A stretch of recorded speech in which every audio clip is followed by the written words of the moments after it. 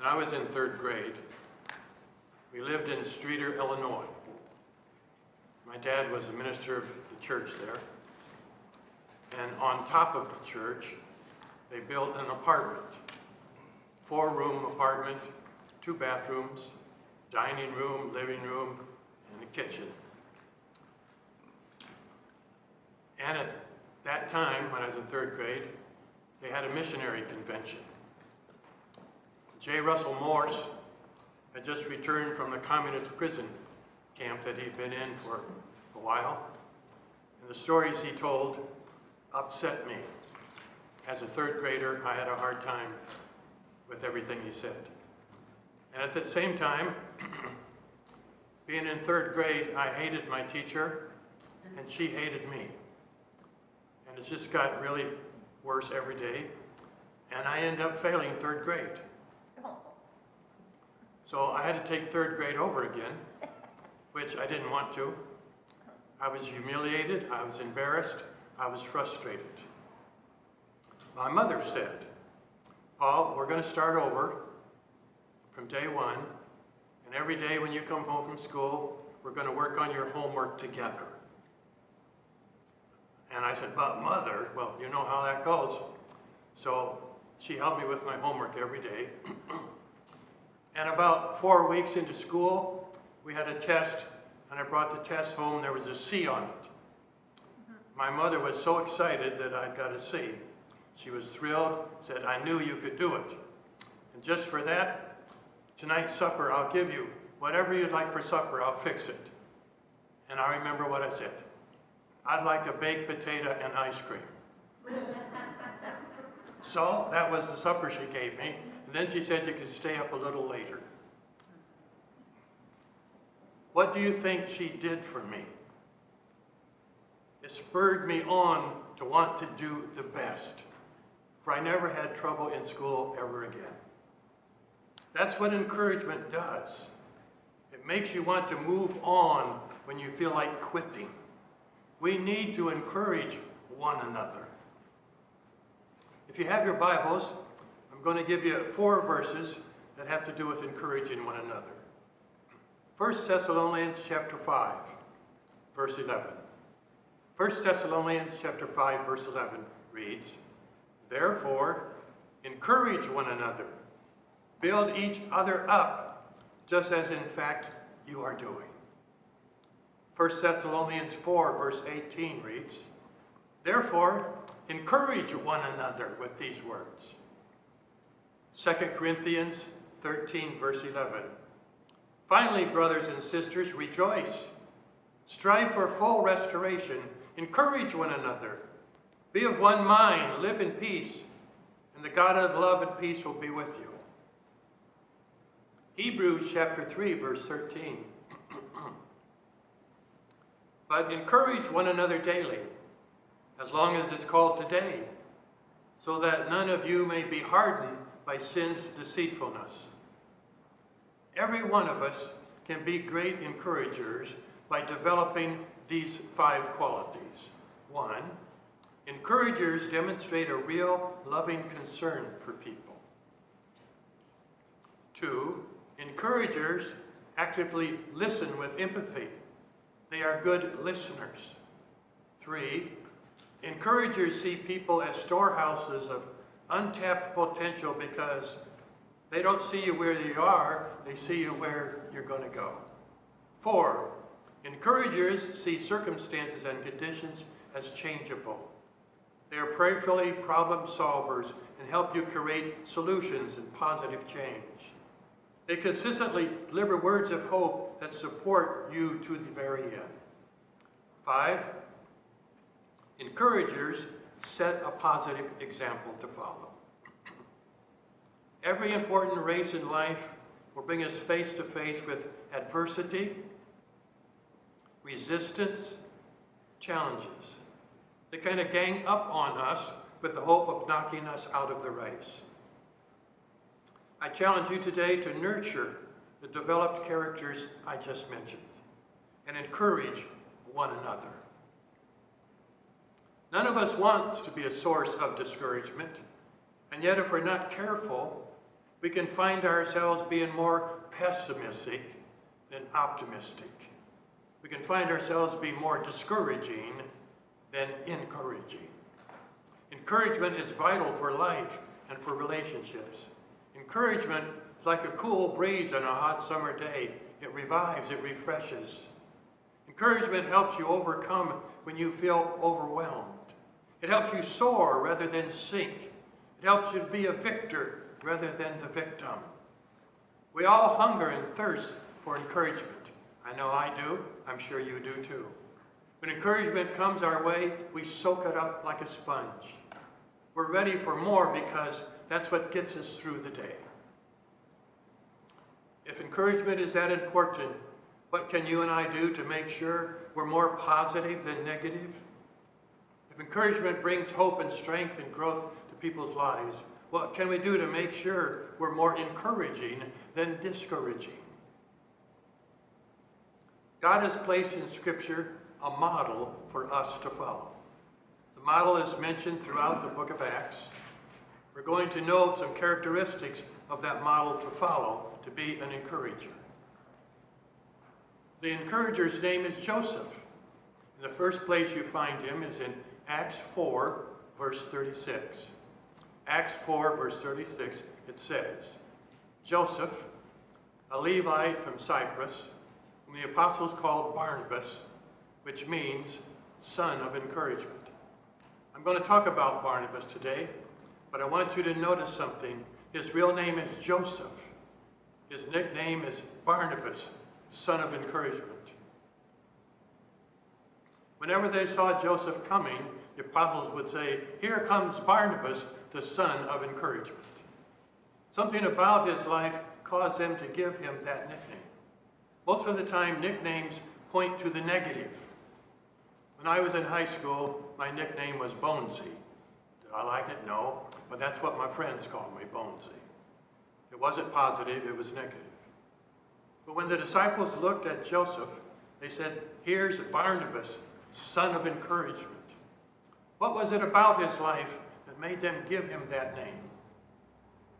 The first characteristic that shows us how much of encouragement Barnabas was is found in Acts 4, verse 36 and 37.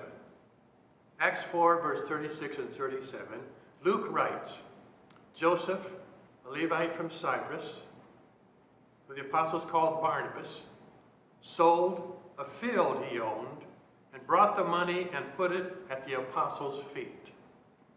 Joseph called Barnabas, sells a piece of land, gives the money to the church, and they distribute it to those who need it. Barnabas shows the first characteristic of an encourager. An encourager freely gives of his or her resources. Encouragers recognize what they have really doesn't belong to them, but it belongs to God. What God has given to them is basically there to meet the needs of those around them. Barnabas freely gave. If you want to encourage something or someone, do something tangible for them. As one person said, people really don't care how much you know until they know how much you care. When we send money overseas, we call that support to our missionaries. It's basically encouragement letting them know that we are behind them. When we give time or talent or resources, we encourage others. When we participate, when we're asked to do something, we encourage others by doing that. Encouragers give of their resources without expecting anything in return. Here's a second characteristic of an encourager. Evidence in the life of Barnabas. Encouragers accept you where you are. In Acts 9, we read about the conversion of Paul. Instead of being a persecutor, he becomes a promoter of the gospel. As a result, his life is in danger. In Acts 9, starting in verse 20, we read this. At once he began to preach in the synagogues that Jesus is the Son of God. All those who heard him were astonished and asked, Isn't he the man who raised havoc in Jerusalem among all those who call on his name? And hasn't he come here to take them as prisoners to the chief priests? Yet Saul grew more and more powerful and baffled the Jews living in Damascus by proving that Jesus is the Christ. That's Acts chapter 9. Eventually, the Jews conspired to kill Paul, but his followers took him at night and lowered him in a basket through an opening on the wall. Paul went to Jerusalem to join the disciples, but they were afraid. They couldn't believe he had now become a Christian. He once was Saul the prosecutor, now he's Paul the apostle. Put yourself in Paul's shoes. At one time, this man was a Jew of Jews, a Pharisee of Pharisees. Now he's given all that up. He's proclaiming the gospel. People are coming to Christ. At the moment, Paul needs refuge in Jerusalem, Christian Mecca. But he can't get in, and really his opponents had a point. They think about Paul's life, who oversaw the death of the first martyr of the church. As they were stoning Stephen to death, Saul stood there and held Stephen's jacket and watched it all. Paul in Acts 9 says that Saul began ravaging the church. The word ravage has an interesting word picture behind it. It's like a pig going in the field to root it up. Paul's sole purpose was to root up the church. Acts 9 says he breathed threats and murder against the disciples. I'd say they had good reason to be concerned about Paul. But notice who comes to the rescue. I will follow the word but in Scripture because I always find contrast when the Scripture with the word but. In Acts 9, verse 27, we see the contrast. Notice how the verse begins. But Barnabas took him and brought him to the apostles.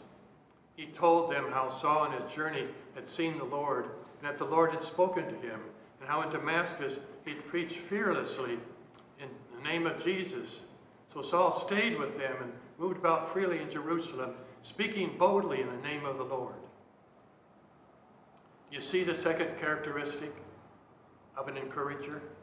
Encouragers are willing to accept you where you are and help you get where you need to be. They're the kind of people who don't look at your reputation or your past. They have a wonderful ability to let the past be the past and start right fresh and start over. Encouragers realize that none of us come to Christ with an advantage. All have sinned and come short of the glory of God. All are new creations in Jesus Christ, and because of that, the encouragers can pick up anyone from where he is and help that person get where they need to be. Now think about Paul. We might have not have half of the New Testament if Barnabas hadn't accepted him, because Paul wrote most of the New Testament. Another characteristic of encouragers that their major goal is to meet the need even when they're not the best ones to do it. An encourager is never out to make a name for himself, only to glorify the name of God. Barnabas knew that Paul had tremendous gifts and that the church needed to be fed. He pulled those two together. An encourager is a networker, always looking to see who can best fit the need and get the job done. The major goal is to get the needs met. Encouragers sit in the back seat, let somebody else drive.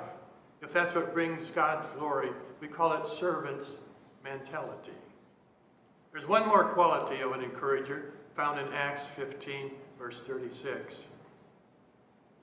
In this passage, Paul and Barnabas have decided to go back and visit the churches. But there's a little problem. John Mark is the problem. Paul suggested to Barnabas that they visit the brethren in every city where they preached. Barnabas wants to take John Mark, but Paul keeps insisting they should not take him along because he deserted them in Pamphylia. The disagreement is so sharp that they separate. Barnabas takes Mark with him to Cyprus, and Paul chooses Silas, and they go their separate ways. Mark had deserted them on his first missionary journey. Some believe he left because he was intimidated about being a Jew in Gentile territory. Others believe there was a bit of leadership change from Barnabas to Paul. Early in the story, Barnabas is listed first, but over time, Paul takes top billing. And by the way, Mark is Barnabas' cousin, So maybe that's why he decides to leave. Regardless of the reason for Mark's abandonment, notice that it shows us another characteristic of an encourager. They're the kind of people who are willing to give you a second chance. They realize that one failure doesn't mean total failures. Try again, they say. That's exactly what Barnabas did for Mark. I find this interesting because Barnabas went on the first missionary journey with Paul. You would think that they had a pretty close relationship, but Barnabas goes to the mat for Mark. And he gave him another chance. That's encouraging. What we all need is encouragement of some kind. It's vital for life and for relationships. Let's follow the example of Barnabas and be an encourager to one another. And quit the negative complaining and criticizing. Encouragers give freely of their resources. What's an encourager? An encourager accepts you where you are and helps you get where you need to be. They don't lock you into your past mistakes. What's an encourager? Encouragers get excited about the progress of others. What's an encourager? Encouragers meet the current need, whatever the need is. Encouragers give people another chance. Let's go encourage one another. So now, before I pray, I want you to say a word of encouragement to whoever's sitting closest to you. Go ahead, encourage that person.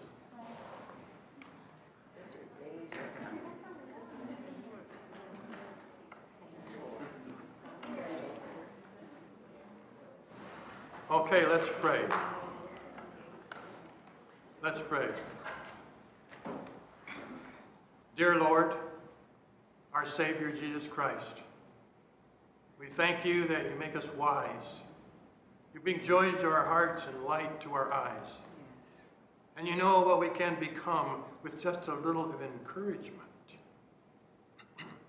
We thank you for what we've learned in this time we've spent together Thank you for teaching and leading us through the day, and for the mutual encouragement we have received from each other just by being together. And guide us as we are returning encouragement to others as we go our separate ways. Amen. Amen. Amen.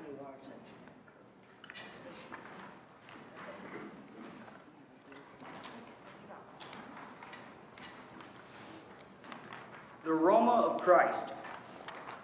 We are about to share a symbolic meal together to commemorate the death of God's Son.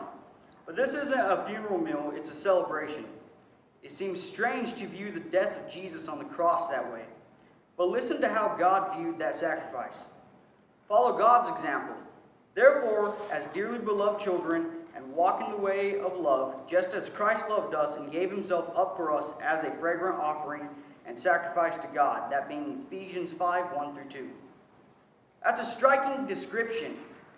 Jesus gave himself up as a fragrant offering and sacrifice. Consider that his sacrifice was on a cross, which smelled like blood and grime, torture, and the bile of humiliation, and yet it was fragrant to God.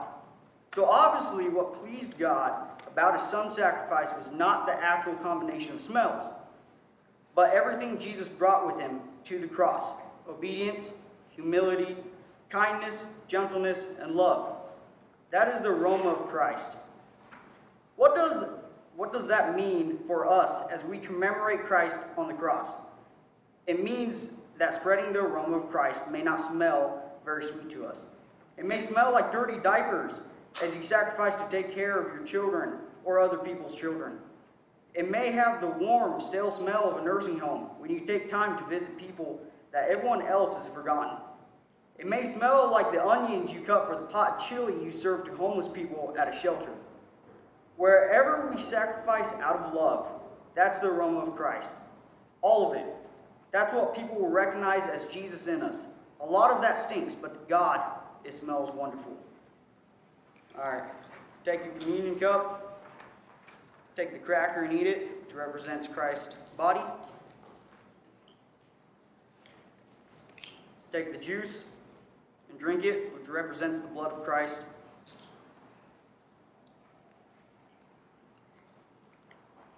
All right, let's pray.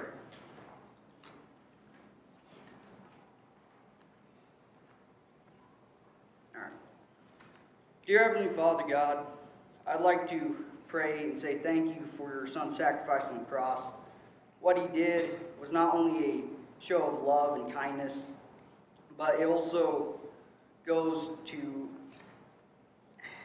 it, go, it goes to show his love and your love for us, God. You sacrificed your son. He sacrificed and he went through horrible things for our eternal salvation, God. Thank you for your love and your kindness that you showed towards us, hopeless humans. But through Christ, we have eternal salvation and hope and love in your promise, God. Thank you for your sacrifice on the cross. In Christ's name I pray. Amen.